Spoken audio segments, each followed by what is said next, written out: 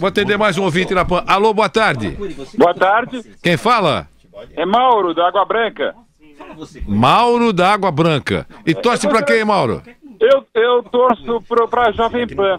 Eu queria saber se eu tô escalado amanhã no Esporte de Discussão. É, só uma pergunta. É o Mauro Betting? É muito tonto, né? Meu Deus do céu. É um negócio inacreditável. É, sim, tá, tá escalado. É, é, atenção. Treze- Você já viu falar? 360 Jovem Pan escala. Você abre lá, tá tudo bonitinho. é, É que nem o meu e-mail tá aceitado. Como é que é? Ele não tomou banho, Vanderlei. Ele tá com a mesma pulseira de ontem. Mostra o braço esquerdo aí, o pulso. Olha, Olha aí, é um negócio inacreditável. É pra dar sorte.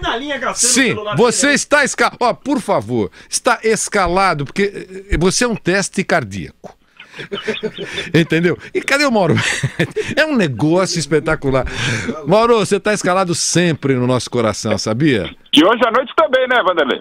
E Hoje é a grande festa de encerramento da Copa Babalu Jovem Pan. Você estará lá com toda a equipe de esportes da PAN no ginásio do Pacaembu, em São Paulo. Então, já que você está na linha, é, é, e você tá- tá é, seria uma bobagem não aproveitar a sua opinião sobre é, o jogo de ontem, né? Não, não, eu, eu vou chamar o comercial, mas depois, vamos aproveitar o Mauro. Mauro, você não está no programa, mas a vitória, porque em seguida vamos falar do Palmeiras, também do Santos, mas sobre a vitória retumbante, 1 a 0 queremos ouvi-lo.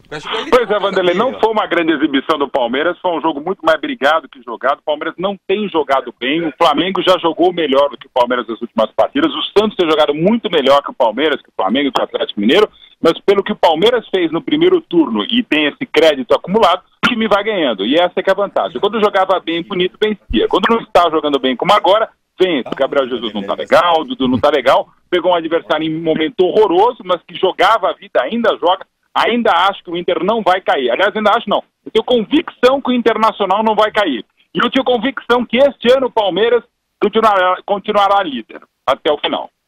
A- aqueles que nos acompanham, aqueles que nos acompanharam, o que estão nos acompanhando Campeões. com imagem, estão vendo que o Mauro está num outro estúdio, é porque nós expulsamos ele, porque ele sorte vem de só no dia errado, tá, atrapalha tudo. Líder, mas eles líder até o tá- final é o quê? é, é, é campeão, né, Mauro? Não, o Palmeiras seguirá líder muito provavelmente até o final. Se bobear na, semif na semifinal, na penúltima rodada contra a Chapecoense, estará mais líder do que nunca e será líder de uma maneira que o vice-líder não conseguirá alcançá-lo já na Ele não fala rodada. E aos 89 minutos do último jogo contra o Vitória. Ainda vamos ter que aguardar o apito final. Aí, se tudo der certo, vai receber a taça, não deverá receber a taça no dia. eh, terá, talvez, provavelmente, a volta olímpica. Aguardemos o STJD. E lá pela quarta-feira, dia 7 ou 8 de dezembro, a gente pode falar alguma coisa mais definitivamente. Meu Deus do céu, é um excesso de cautela. Mauro, um beijão, obrigado. Até daqui a pouco. Até daqui a Ah, pouco. vai ligar de Obrigado. Ele vai ligar mas, a tarde vai tomar inteira. banho Ele vai ligar agora, a tarde né? inteira. Vai São um banho, 13 né? horas e 10 minutos. Este é o Esporte em Discussão pela rede Jovem Pan.